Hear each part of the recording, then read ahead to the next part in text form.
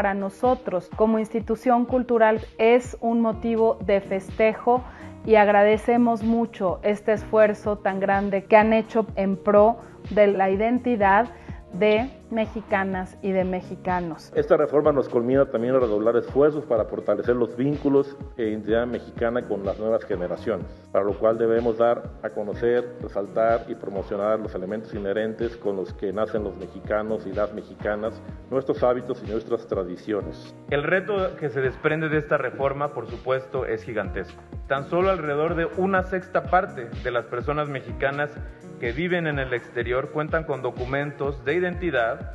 que les acrediten como mexicanas y mexicanos. Es indispensable tener este derecho a la identidad como llave, como llave para todos los demás derechos. El tema de la CURP, el tema de la nueva Ley General de Población y de los registros civiles debe ser prioritaria para el Senado de la República para lograr hacer realidad este derecho a la identidad